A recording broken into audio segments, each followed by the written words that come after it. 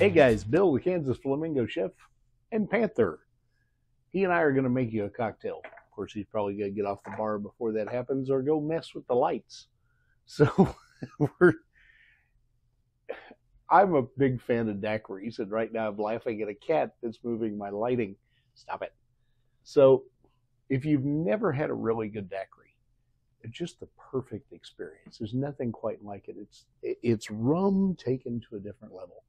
So I want to show you how to how to make my favorite daiquiri. We're going to start with a shaker with ice. I'm going to take three different kinds of rum. I'm going to use Appleton Estate rum. You can use any aged rum you like. I recommend a Jamaican rum because you're going to get the fullness of flavor.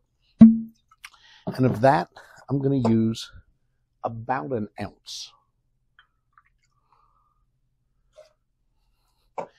Next, I've got plantation pineapple rum.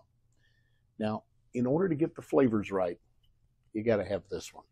And this, I need about three quarters of an ounce. Then I have spiced rum. Now, I don't use spiced rum for much, but I do use it in a daiquiri. This one is one everybody's familiar with.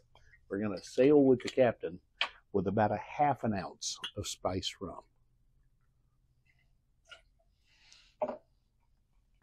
Next, I'm going to use a half an ounce of agave syrup, just natural agave nectar, about a half an ounce.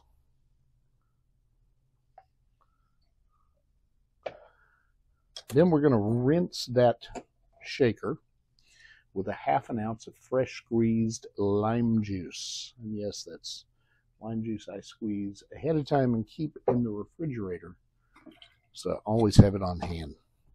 Last but not least is about a half an ounce of passion fruit puree. You can buy this at most decent uh, liquor stores. You can get it online. Even some grocery stores have it. So again, about a half an ounce of that. Put all that together in the ice.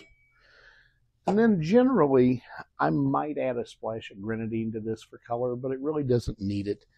So we're going to bypass that. Shake this, and then we'll strain it into this pretty little flamingo coupe.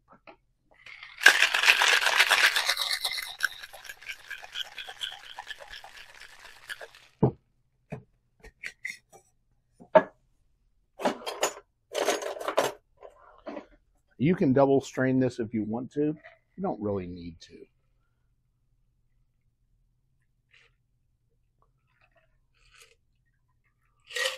And it's almost like I knew what I was doing. There is what I like to call Bill's Flamingo Daiquiri. Enjoy. Oh my goodness, that is so good give this a try. You can vary this just about any way you want. But to build a daiquiri, you need rum and lime juice, and then enhancers from there. Until next time, if you have something you'd like me to make, if you have a question, all you got to do is drop me a line, bill at kansasflamingochef.com.